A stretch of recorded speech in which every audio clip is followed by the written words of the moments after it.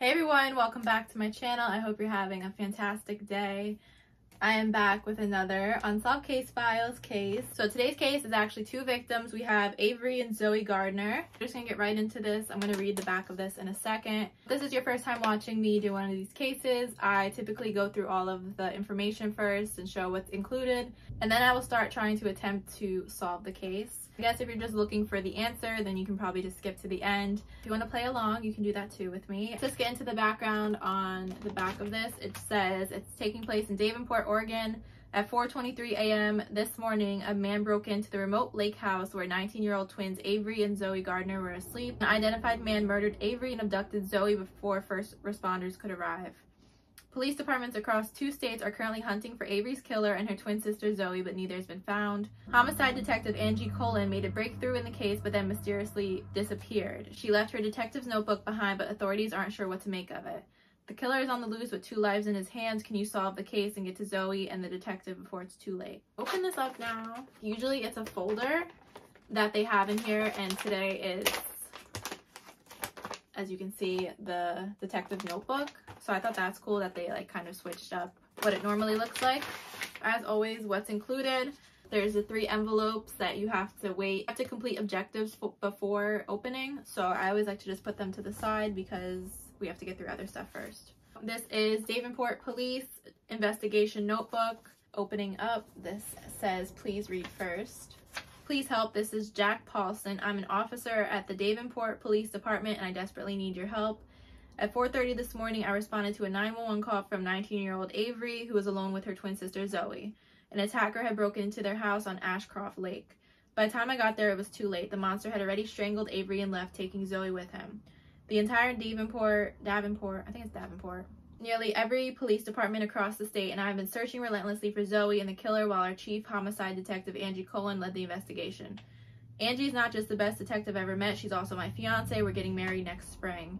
Several hours ago, she sent me a text that I said I figured out the accomplice and nothing else. She hasn't responded or answered her phone since. I stopped by her house and she left her notebook and phone on the counter, so I checked our driveway security camera and watched her sprint to her car and peel out moments after sending that text to me. It's unlike Angie to leave her notebook behind, but it's clear that she had cracked open the case and was in a rush.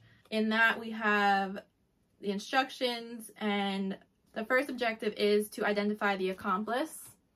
And then when you identify the person who set up the twins, visit the web page to prove it. So then you go online and then you usually check a little box and then it will tell you if you're right.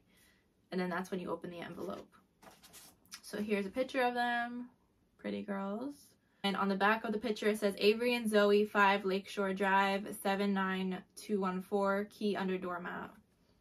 So I'm assuming that is probably for the accomplice, or maybe the accomplice wrote that to let them let the killer know that's where they would be at. Maybe 79214 is like their the entry code on a door or something. Some more details. So 506 a.m. first notice. Call from Officer Paulson, new homicide case. One dead, one missing, not sure which is which. They're 19 years old. 5 Lakeshore Drive, not road.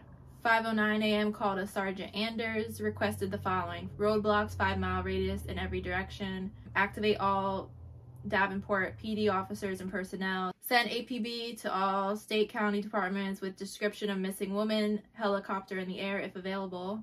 Contact parents slash homeowner. Confirm CSI on the way to the scene. Have Chief Valentine from the Washington State Police call me. 528 arrive at Lakeshore Drive. Two story log cabin, entrances in the front and rear, no visible signs of forced entry or exit. 530 first responder interview officers Paulson and Martin. There's even a little drawing of them in there. Dispatch at 4.25 a.m. arrived 4.44 a.m. Delayed due to getting wrong street address. Doors were locked, no signs of forced entry. Entered residence at 4.49 after seeing signs of a struggle through the window. Found one twin dead in the upstairs bedroom. They don't know which girl it is. No sign of the other twin. Officers cleared rest of the house and called for backup. Mom and stepdad arrive at 5.55 a.m. Mom in shock, hysterical, 100% genuine. Stepdad oddly calm. 6.12 a.m. CSI team arrives. There's some preliminary findings. No force entry. Intruder had key and the security passcode as I figured that 79214 was. Avery was killed while fighting intruder upstairs. Zoey was tied up and dragged out front door. Key evidence found photo of twins with names, address, and security code written on the back. Killer left this behind. Killer needed an accomplice who knew twins and the passcode. At least two people involved. This was planned. Photo of unidentified woman with devil's horns drawn on her head found near Avery's body. There's a couple of things she needs to find out, which is why were they alone at the house? Who knew they were there? Who has the key and security code? And who's the girl with the red horns? The next page. 6:24 a.m. There's an interview with Dr. Maureen Hamilton, which is their mother. She's a pediatrician and married to Stephen Welch. Why were the twins alone at the lake house? They came home Woodbury House unexpectedly from college last night. Both are freshmen at Seattle College, announced plans to drop out, move back home, and focus on environmental causes. Stephen was furious, argument ensued. Twins left around 7.30 to Lake House. Who else knew the twins were there? Just Stephen and her. The twins left abruptly, it wasn't planned. They asked mom not to tell anyone where they were, they wanted to be alone. Who has a key? Only she and Stephen carried keys. They kept an extra under the doormat. Confirmed the extra key is now missing. Who knows the security code? Passcode just changed a month ago. Only four people besides the twins knew the security passcode. Mom, stepdad, cousin, Courtney, and their father, Frank. Courtney is the twins' cousins on their father's side. Mom gave her the passcode two weeks ago to pick up some clothes the twins don't wear anymore. Twins' father, Frank, needed a place to stay last weekend, and mom let him use the lake house. What did you do last night? Mom stayed home for the night. Steven went to the drugstore around 8 for ice cream, came back around 9, no ice cream. Both went to bed around 10.30. There's a lot of pages. Oh my lord. Who's the girl with red horns? Courtney Gardner, the twins' cousins, not aware of any issues with either twin. Courtney is always kind of difficult. Ask mom to call cousin and father and tell them to get down here. 633 discussion with CSI team presumed course of events. Assailant enters front door and types in security alarm passcode, ties up Zoey downstairs, goes upstairs and strangles Avery, drags Zoey out the front door, takes Zoey to another location, asks the CSI team to expand their search into the yard farther away from the house. 6:46 a.m. Washington State Police received call from Chief Valentine's secretary says they're on high alert but haven't set up roadblocks on all the bridges into Washington yet. Chief Valentine is not available now and wants me to call him back at 7. 6.53 a.m. There's an interview with the stepdad, Steven. There's a picture, sketch of him. He's an accountant. What happened last night? Twins came home unannounced around 7 and shared plans to quit school. Doesn't think 19-year-olds should live at home. Big argument, twins left to the lake house. Woke up to a police call at 5 a.m. Where did you go last night? Went to the drugstore around 8 to grab his prescriptions. He has an antidepressant and sleep apnea. Came home, went to bed around 10. Did you tell anyone where the twins were? Saw Courtney, the cousin, at the drugstore, mentioned it. Courtney was acting a bit unusual and was tightly clutching a brown paper bag. Where's Courtney right now? On her way. Should be here in an hour. Where's the twins' father? Not answering his phone. He's an alcoholic and a big loser. He lives on Edmonds Road, apartment 2 in Dirkland. Who else knew they were there? Weird neighbor lives about 200 yards northeast of the lake house in the old shack. Can't recall his name, always peering at them with binoculars. He's 6'4", maybe 250 pounds. Crazy but not sure of diagnosis. He walked over here 15 minutes ago, but Steven sent him back to his house. Lived there for years, but says he was born in a mental institution. 7.34 a.m. call to 911 dispatch. Listened to audio of Avery's 911 call, not sure what to make of it. Requested a transcript. They'll fax it to the station. 754 evidence found ID card. CSI team found a patient ID card for Davenport Psychiatric Hospital in the grass about 200 feet northeast of the house. Lenny Nelson is the suspect and probably the neighbor. Now there's a discussion with Officer Paulson. Knows Lenny Nelson, says he pretends to be dumb but's actually very smart and dangerous offered to join me for interview, but I declined. Told him to finish his first responder report and get me the yellow copy. Also asked him to contact the psych hospital and get any details he can about Lenny. 8.15 a.m. There's an interview with Lenny Nelson, which is the neighbor. There's also a little house down here too. So he lives on 7 Lakeshore Drive. There's no phone, no wife, and no job. Lives about 200 yards northeast of the twins' house. Do you live in this house for the past 10 years? What were you doing last night? Stayed home, skinned a couple chipmunks on the front porch. Okay. Did you see anything unusual? Saw three cars in Lake House driveway last night. There's a twins Jeep. Recognized their loud music with windows down, not sure of the time. Unmarked white van, driving slow, stopped in the driveway for a bit. He's seen it in the neighborhood before, has a black passenger side door, trailing a large piece of equipment a few hours after sundown. Fancy sports car, belongs to some high class real estate guy. Same guy visited him last week about buying land Left his business card, Davis Bateman. He's also another suspect. Are you a patient at DPH? Just released from a stay there. Had a problem with some hikers and social workers said he had to go there. Insists he didn't escape. Says he's only diagnosed as bipolar. Thinks the ID fell out of his pocket while he was checking his animal traps. Next page. Do you own a vehicle? Old truck behind house says it won't start, needs a new battery. Rowboat down by lake says he can't use it, doesn't have any oars. 836 called a Davis Bateman left message to call me as soon as possible. 854 is discussion with Officer Paulson. Psych hospital said Lenny was released against medical advice. No more details without a subpoena. Asked Officer Paulson to find the twins' dad. Frank 859 called to the station. No promising leads yet from APB. Requested a background check on Lenny. Interview with Courtney. Where were you last night? Left work early, feeling sick. Went to the drugstore for Pepto and saw Steven, the stepdad, around 815. He told her the twins quit school, got in a fight with their mom, and left to the house.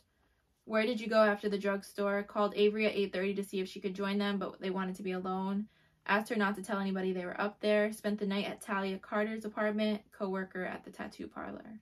Did you tell anyone where they were? Got a call around 9 from her Uncle Frank looking for the twins.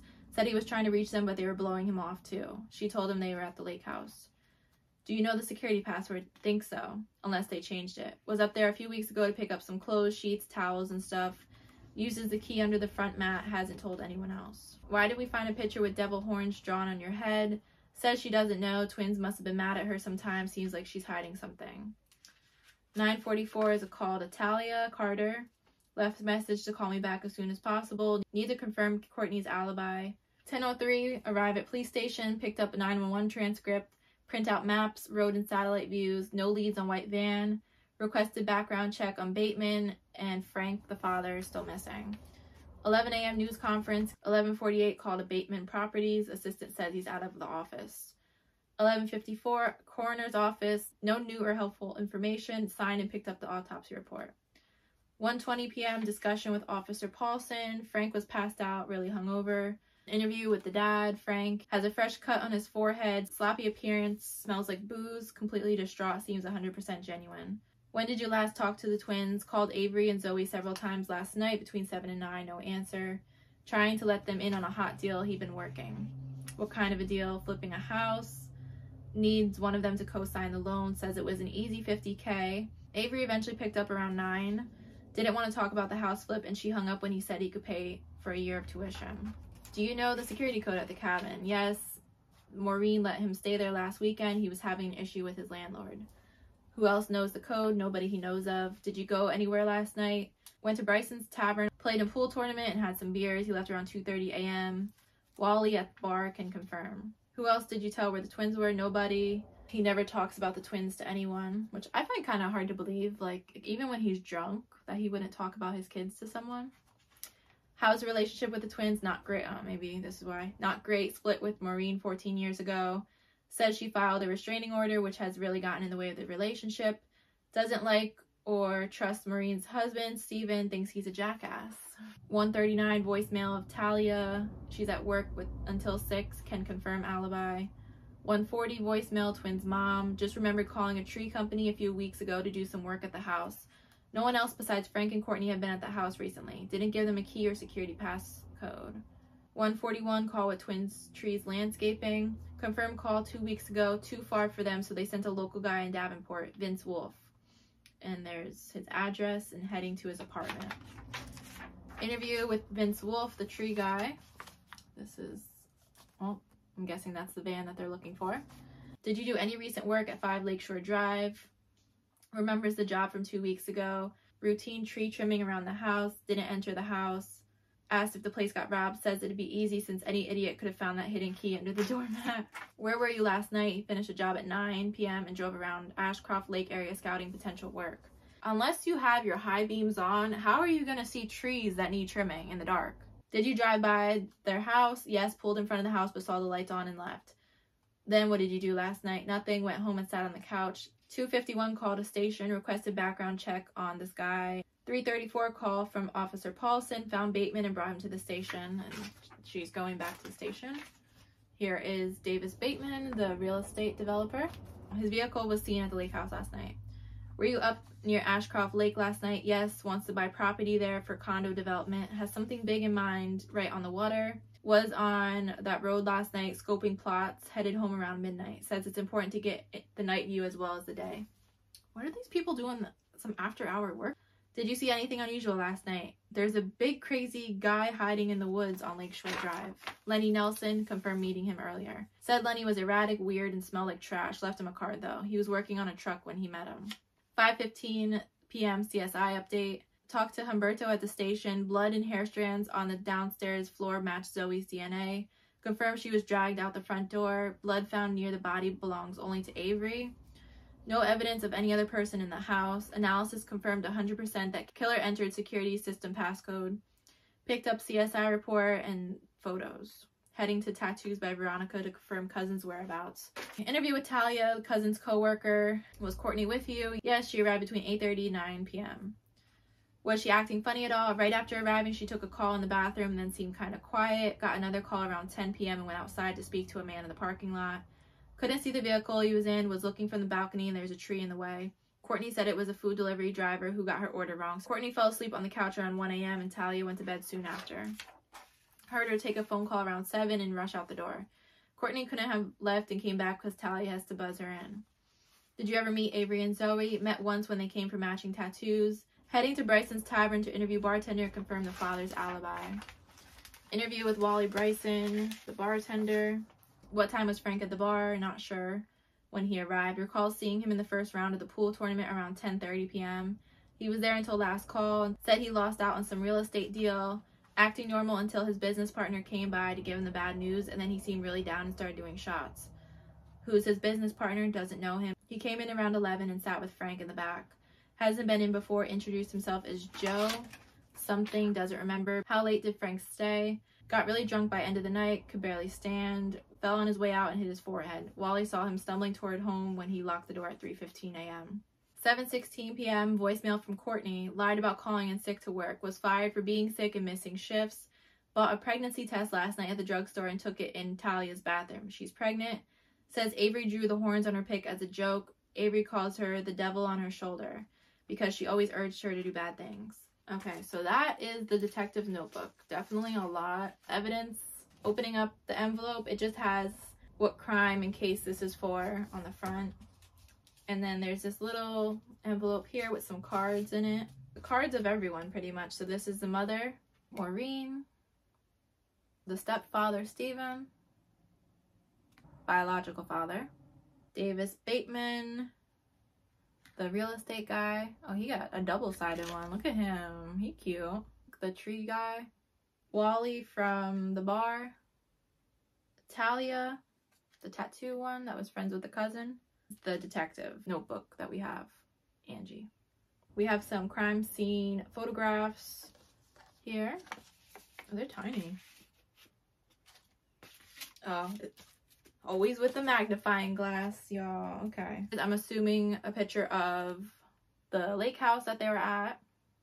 Trigger warning for some of these pictures, just to let you guys know that. Here's the one sister. Some bruising.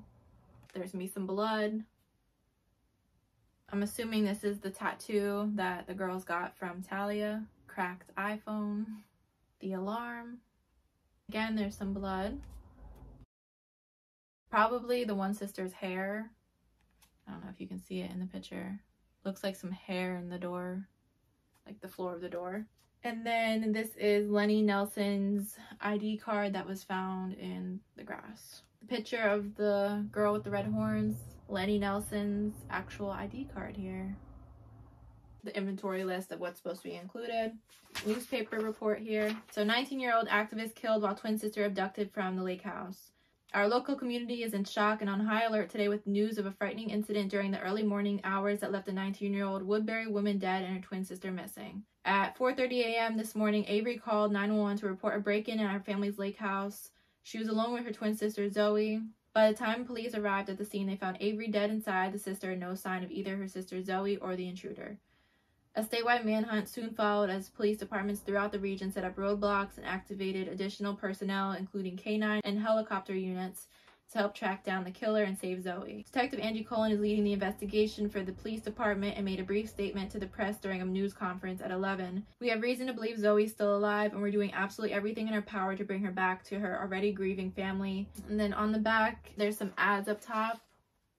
LJ Spruce and Company, outfitters of outdoor apparels. There's Lindman's Lakeside Properties, Tomorrow marks one year anniversary of Roxanne Needles' disappearance. Friends and family of Roxanne are planning a gathering at 4 p.m. tomorrow in Davenport Park to mark the one year anniversary of the young woman's mysterious disappearance. She would have turned 18 last Friday, was camping with several friends in Davenport Preserve just east of Ashcroft Lake when she went missing. She was last seen gathering firewood around 4 p.m. When friends noticed she had been gone a long time, they searched the area and called in authorities when it started to get dark.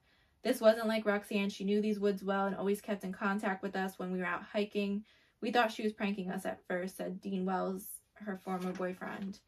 Search parties scoured the area for weeks but came up empty handed. There have been reports of a large black bear getting into people's trash.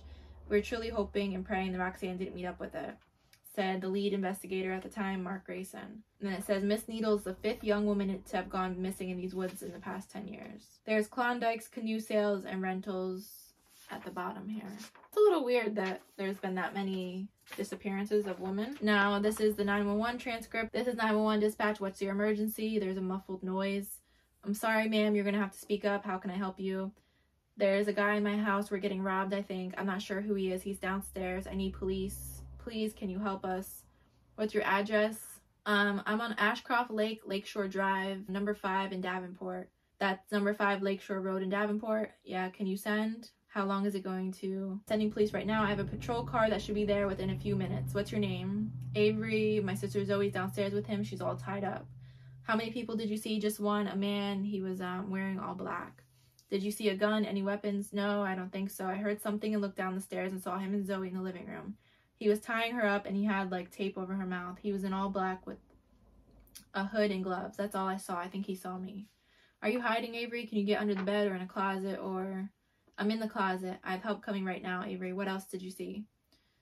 Muffled noise. Did you see anything else, Avery? I can hear him. He's coming up the stairs. And then there's nine seconds of silence, followed by the sound of a door opening, a woman's scream, and some muffled noises. Avery, are you okay? Are you there? And then the phone disconnects. The first responders report. This the reporting officer is Jack Paulson. Time of report 9:37 a.m. Officer Billy Martin and myself received a dispatch at 4:25 a.m. to respond to a home invasion at 5 Lakeshore Road. Officer Martin and I arrived at 5 Lakeshore Road at 4:29, but I thought something was wrong because dispatch told us there may be a woman in a closet on the second floor and the road is a single floor home. I radioed dispatch, and after waiting a full four or five minutes, they confirmed the break in was actually underway at the drive, at least 10 minutes away from where we were. We arrived to the scene at the drive at 444. It was a one lane gravel road with a single street light. Neither of us recall any other vehicles on the road at that time. We saw nothing unusual on the property, no signs of forced entry into the home. Officer Martin stayed out front while I looped around the home and checked the back door. I gave a hard knock on the front door and announced ourselves. No one answered, and we couldn't hear any sounds from inside. I peered into the front window and saw an overturned potted plant lying on the floor. I immediately radioed Sergeant Anders at 449 and received clearance to enter. I announced my intent to kick open the door and proceeded to do it. We entered carefully with our guns and flashlights drawn. We did not hear any noise or movement, but I nearly fell after slipping into a small pool of blood about three feet inside the front door. Following protocol, we cleared the first floor, then ascended the stairs to the second, where dispatch warned us that a woman may be hiding in a closet. In the master bedroom upstairs, we found a female lying face up on the floor. Officer Martin checked vitals and confirmed the victim was deceased. Her neck was scratched red and looked to have been strangled by extreme force. A shattered cell phone was next to her left hand. After clearance of the second floor, we requested backup, medical, and CSI team. We phoned homicide detective Angie Cullen directly to notify her.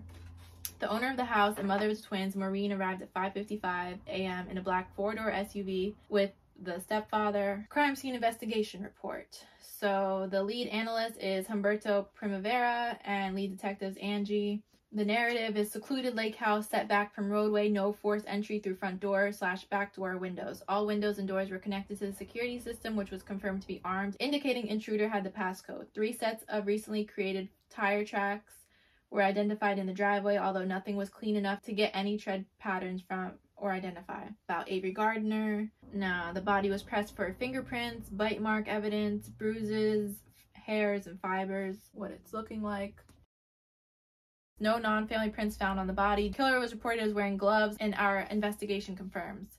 Only shoe prints found inside or outside were those of the first responding officer who stepped in a puddle of blood. Four brown hair strands on the threshold of front door. Samples collected and sent to lab for analysis. No relevant findings on blood spatter. Some blood was found near the front door that appears to, to belong to the kidnapped victim, but splatter marks are inconclusive. It's a very clean crime scene. Suspect appears to have been very careful not to leave any traces behind. Basically repeating itself of the evidence that was found. There's some pictures of how the house looks on the inside. Coroner report. Victim was found lying on back with finger marks on the neck indicating strangulation. Face flushed with severely bloodshot eyes and a small amount of blood coming from nose. Damage to carotid arteries and neck, damage to trachea, asphyxiation resulting in brain death. Signs of a struggle in room, strangled from the front until asphyxiation took place, and asphyxia by manual strangulation was her cause of death. Post-mortem scan picked up no brain activity. A deep abrasion was found on the palm of left hand.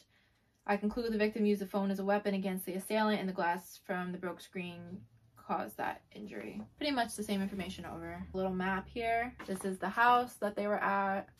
Lenny's house is over here. Do I want to say that I don't think Lenny is the, the murderer? I feel like he would be easy to blame because his ID card was found. They're saying there's a direct line of sight so he could obviously see them. And over here is Woodbury and Dirkland about 35 miles west. Another map of everyone else's apartment. So as you can see, everyone other than, what is his name, Vincent? Vince Wolf he's really the only one that's kind of close to where the girls were at. Everyone else would have to travel quite a bit. But I mean, I guess if you're determined enough to want to kill someone, you would make the drive. Our suspects, finally, these are the last pieces of evidence. We finally made it, guys. Honestly, I feel like I've been talking for three hours. Davis Bateman, real estate guy, I think. He has some aliases, which is a little strange. Wendell Scott, Joseph Washington, Anderson Spellman. He has a couple of court cases that were against him. Invasion of personal privacy, not guilty, sentence none. Restraining order, which is still open. Assault, first degree, it was a felony, not guilty. He didn't get sentenced for anything, let me just say that. Private indecency, misdemeanor, he was not guilty. Restraining order, misdemeanor, it was issued, but it expired now. And luring a minor is a felony, not guilty, and the status is closed. These all have happened at different points in his life, and he's 37 now. Lenny, so aliases is just his name spelled with a Y rather than an IE. Distinctive features, he has very thick forearms. Was there any distinctive features for him? No, there's nothing for this guy. Thick forearm. He has some cases here. He has menacing, misdemeanor. He was guilty and social services intervention and it's closed. Stalking misdemeanor, he was guilty, $1,000 fine. It's all of the cases are closed against him now. Assault, second degree, he was guilty, six months prison, 50 hours community service. Disorderly conduct, guilty with a $500 fine. Unlawful entry into a motor vehicle, $200 fine. Animal abuse, first degree, he got 200 hours of community service. Last, we have Vince Wolf here. He got some different aliases. He, he goes by Vinny Pop, Vin, Joe Mamba, King Papa, and the Lobo. He has tattoos all over his body and a scar on his left hand. So a couple of cases against him. All these cases are closed and he was guilty for all of them. Unlawful transport of coniferous trees, he had a $1,000 fine. Robbery, first degree, four years prison, 500 hours of community service. Assaulting a public safety officer, he got three years prison and 100 hours community service. Strangulation, three years Three years prison, that's it. 100 hours community service. I guess he didn't kill the person. Unlawful use of a weapon, 18 months prison, 50 hours community service. Manslaughter, second degree, five years prison and 100 hours community service. He was 19 when that happened. I don't know, this guy looking kind of guilty right now because he got similar things that happened to the girls. Strangulation, manslaughter, robbery. We have to figure out who we think the accomplice is. I don't really know who I would think the accomplice is yet. So I'm like going through and I, I'll admit, I sometimes press like the hint option. I don't ever like to Google it because then you'll probably get the answer. So they always typically will give you the option to for a hint. And the hint was, have you visited any websites during like your investigation. Earlier I was showing those cards from every person from like the the mother and Davis, Vince, like everyone with that was associated. Going through all of them, I did not expect this person though, and I don't really know why or I'm gonna show you all on my computer just so that this makes more sense. Which item is needed to identify the accomplice? So we got card Wally Bryson. What part of Wally's card do you need? His website. What page on Bryson's Tavern do you need? Photos. Let me show you why I say that. Who do we have, y'all? Who do we got in the back here? Okay, I can't zoom in. We got the, the twins' father. And look at, I mean, okay, this is so photoshopped. But this person with the hood got a picture of the girls there that was found on the floor or whatever in the house. Did I not say typically what parent doesn't talk about their kids? Especially when they're drunk. Solved objective one. A photo on Bryson's tavern shows Frank, the father, with the killer. Envelope A. Objective two is identify the killer. When you identify the person who murdered Avery and abducted Zoey, you go check it again. Then you'll have to pick what the evidence was that showed you who the killer was. This is from Jack Paulson again. Dear investigator, I cannot thank you enough for helping us identify the accomplice. I know Angie would be impressed that you found that picture of Frank conspiring with the killer on Bryson's Tavern website. It sent shivers down my spine when I saw that photo of the twins in the killer's hands. The SWAT team and I acted immediately after receiving your tip about Gardner. We surrounded his apartment with guns blazing, hoping to arrest him and find the killer, Zoey, and my Angie. As soon as I walked through the door, though, I realized we were too late. Frank was dead. He'd been strangled on his living room floor. Once again, we couldn't find any traces of evidence to identify the killer, but my friend Humberto on the CSI team is certain the markings come from the same hands that took Avery's life. It would be an understatement to say I was relieved after we cleared the apartment and found no signs of Angie or Zoey.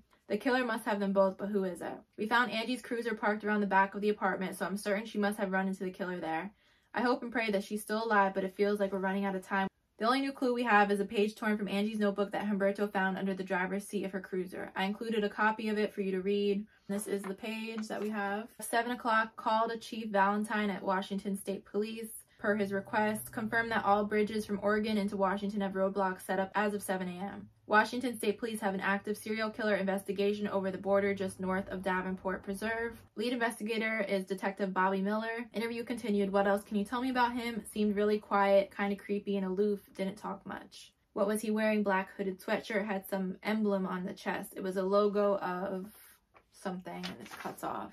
I don't know who she's talking about. What interview was continued from earlier? It's just, I don't know why this page would be ripped out. Like, why Angie would rip this out of her little notebook here. 7 o'clock. Who was she interviewing? Angie, the detective. She puts PM and AM on everything, but of course for this 7 o'clock one, she doesn't put it. So we don't know if she was either talking to the stepdad or probably Wally again. Because Wally, not that he was the accomplice, but he also, he kind of played a part in this whether or not he knew it. Who's his business partner? This is talking about Frank. So whoever Frank introduced himself as Joe, someone's alias is Joe. Okay, but there's there's two Joes. We have Joe Mamba and Joseph Washington. So either one of these could be who's business partners with Frank. What does Frank do? Doesn't he do like demolition or some gardener demolition? I'm gonna say actually his business partner might be what's his name? Davis Bateman, because this is the real estate guy.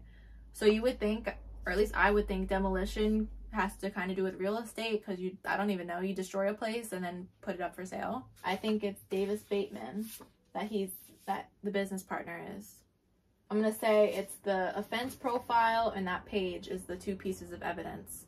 We'll go see. If the police department wants to hire me at this point, I honestly am open to availability. And that was correct. Bateman uses alias Joe Washington at Bryson's Tavern. Envelope B, this is from that same Jack Paulson. He did it again, and this time I'm glad to say that your detective work allowed us to save Zoey. I just wish I could say the same for Angie right now. I wish our rescue was as brilliant, but Bateman was ready for us and heavily booby-trapped his entire house. When the SWAT team and I stormed the building, we were met with a barrage of explosions like nothing I'd seen in 12 years in the Marines.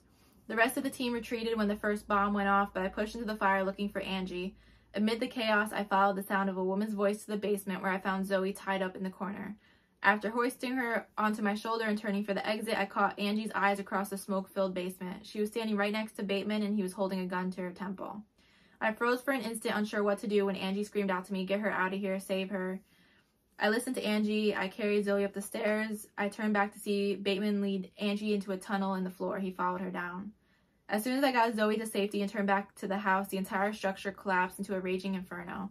We immediately put the five mile radius around his house in complete lockdown, and the public works department soon informed me of a large storm drain pipe that runs right under Bateman's house. It's large enough for a person to escape, but they couldn't travel more than three miles from there without coming above land. After the fire was out, I confirmed the tunnel connected to the drain pipe. I've explored every inch of that underground system. I'm thankful I didn't find Angie in there. Just wish I knew where she was. This is a letter from Zoey.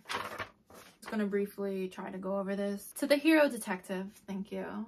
Thank you for saving me from that evil monster Davis. I'm still in shock. I don't know where he took Angie, but I wanted to share my experience in case it may help you find her. It all started when Avery and I were at our family cabin on Ashcroft Lake. Avery went upstairs to bed around midnight and I fell asleep watching TV. I woke up to a masked man on top of me covering my mouth with gloved hands. I wanted to yell at Avery for help, but before I could make a noise, he had pinned me down and taped my mouth shut. He tied my feet together. I looked up the stairs and saw Avery. He must have seen her too because as soon as he finished tying my feet together, he walked upstairs into the room where she was hiding. I couldn't move. I couldn't do anything. He came back downstairs alone. I tried to fight as he dragged me out the front door, but I was tied and could only do so much. He stuffed me into his trunk and drove away. When the trunk opened, we were inside a garage. It was Bateman's house, I now know. He put a bag over my head, threw me down a set of basement stairs, and said if I moved even an inch, he'd kill me. He shut the door and left me. I had just given up when Bateman suddenly burst through the basement door again with a woman I didn't know, also bound and gagged. He threw her next to me and she hit her head really hard. It was Angie. We were able to whisper to each other. I'm not sure how much time went by, but it felt like years. We were planning an escape when the explosion started. Just after the first blast, Bateman rushed down the stairs with a gun and said he needed a hostage to get to the hideout. He untied my feet. Angie begged him to take her instead and swore she would get him out alive if he let me go. He agreed. You know where the killer is hiding from the police with the detective. Visit the page to prove it. Maps of this guy, probably I think where this guy lives, Bateman. So Bateman's house is over here. There's some drain pipe that goes for about three miles. They have this little thing that shows it's five miles. I don't know if you guys can see that. Let me take let me take my finger. Let's try to get half of five. See where he would end up at. Let me look at his cards. Um okay, he lives in Linney Avenue. Or that's where his business is located. Yeah, it doesn't show the streets. I'm gonna say he took her somewhere that like they're working on building. Back on the computer we shall go. This is Davis Bateman's website of vacant properties. Let's see. His house is here. So the closest would be probably Fowler this coniferous way here, I would assume. Which two items are needed? The map, maybe? Road map of region or area? Um, it's just a road map, I think, is that. Bateman property website, let's see. Where do you think he's hiding? Coniferous. Yeah, he must be hiding within five miles of his house because that'll be a lot of walking. There's a vacant. Oh, I didn't even see that. I just looked at which one was the most convenient, closest. But there's a drain pipe somewhere I would not have even noticed that. Open up the final envelope. A letter now from Angie. Not sure what to say. Zoey and I are only alive today because of your intelligence and persistence. Thought you might be interested to hear that we also caught the serial killer responsible for killing Roxanne Needle and several other women that went missing in Davenport and up in Washington. The Washington State Police matched DNA from one of their crime scenes with some DNA we pulled off Lenny Nelson's hospital ID card, and we, he wound up confessing to several murders over the course of the last decade. I didn't think it was him for this case, but okay, wow. A confession now from Davis. Killed Avery. I also killed Frank, kidnapped Zoey, and abducted Detective Cullen. It was never supposed to come this far. I had no intentions of killing anyone. The plan which Frank and I came up with together was supposed to play out differently, but things got out of hand quickly and I wish I'd never gotten involved. I met Frank a week ago at his ex-wife's home in Davenport, 5 Lakeshore Drive. I came to the door because I was interested in buying the land it sat on. Frank said he'd sell in a heartbeat but was no longer the owner. His ex was, and she'd never sell. Apparently, she says the fond memories it holds are priceless. It's hard for me to take no for an answer, and I jokingly asked him what the price would be if he, it held some not so fond memories too. That's when the conversation took a darker tone. I could make millions developing there, and Frank needed cash in a bad way. We met a couple more times and came up with a plan. No one should have gotten hurt. We, or rather I, would just spook the family a bit, make them feel their safe haven was anything but. Then they sell to me and I'd pay Frank a very generous rate to demolish the house. The plan was to tie up the girls and scare them. We figured a few hours of fearing for their lives is all it would take to put a stain on those priceless memories. It would have worked if Avery hadn't ruined everything. I had to kill her because she fought back. That girl wouldn't give up and strangling her was the only way I could stop her. I knew Frank would go straight to the cops if I killed his other daughter too, so I took her back to my house as a bargaining chip. I met Frank at his apartment. I made him a fair offer, keep his mouth shut or lose the other daughter. I didn't like his counter offer and our negotiations fell apart, leaving me no choice but to take him out too. Just after I finished with him, who knocks on the door but some snoop detective. I hid in the closet when she kicked the door open and I snuck up behind her while she was trying to revive Frank. I thought she might also be worth more alive than dead, so I brought her to my basement. I had some time to prepare before the SWAT team arrived, and fortunately those preparations bought me just enough time to escape to one of my nearby vacant homes with Detective as a hostage. I was going to keep her alive in the shed for a few weeks until I was ready to make my run to the border, but that plan went out the window as soon as the SWAT team stormed the house. If only that blasted girl hadn't fought back, no one would have gotten hurt and I would have gotten my lakefront property. It's a shame what happened, those condos would have been beautiful. Then there's this, this last picture here. Not really sure what it's supposed to be. That is everything. It was a lot more like exciting and kind of surprising than I expected. But I actually like this one a lot. If you played along, let me know if you knew all along, if you were right. I will see you next time. Thanks for watching.